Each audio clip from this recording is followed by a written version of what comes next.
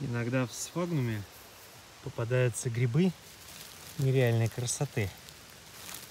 Ну вот эти вот тонконогие, темно-шляпковые. Ну, ничего так, среднего качества. А вот эта троица, вот эта троица, просто предел совершенства. Ну, почти.